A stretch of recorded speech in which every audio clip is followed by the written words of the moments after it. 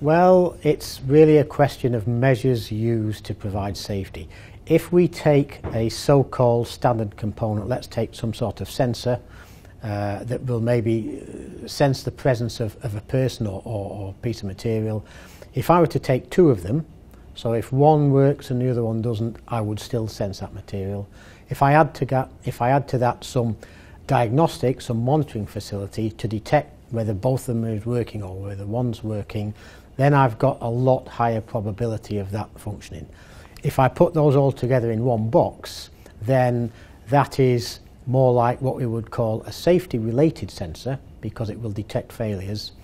If I take two sensors and do that myself, I'd, I can still make the same thing, but I would buy them as standard sensors.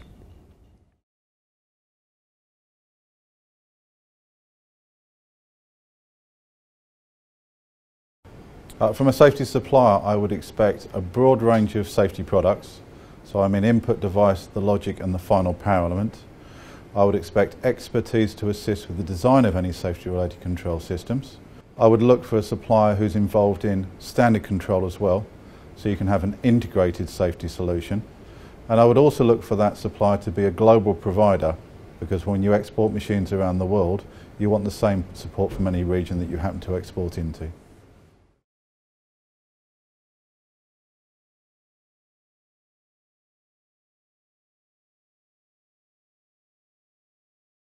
It's going to be a choice of either IEC 62061, if it's an electrical control system, or EN ISO 13849, and that covers electrical control systems or fluid power or mechanical systems.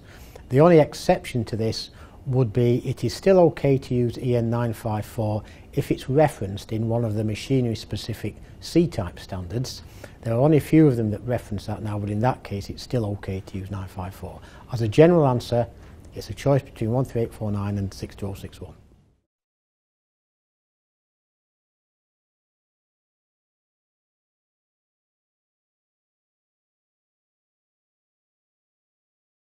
Okay, uh, well, let, let, let's put these into the same context. PUWER is a UK regulation of provision and use of work regulations.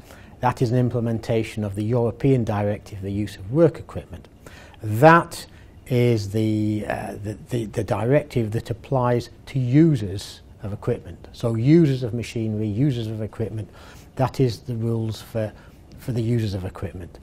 The supply of machinery regulations, that's the, U, uh, the UK name known in Europe as the Machinery Directive, that is the piece of legislation that applies to uh, manufacturers and suppliers of machinery. So between those two sets of legislation, we cover the supply of machinery and the use of machinery. And of course it's important that both parties have a working knowledge of either type.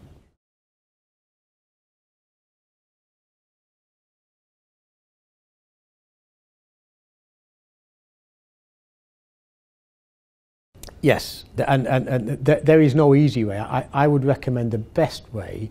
Uh, it goes back to the first question you asked me. The best way is, is probably via your supplier one of the things you need to know is, is, what do you need to know in order to be able to uh, design or use whatever you're doing safely.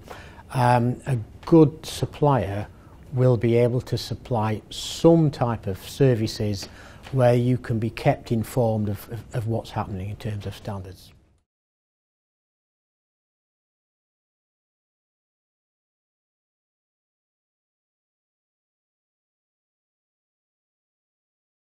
No, there's a misconception that if you meet the standard, then that's the law. That's that's the important point.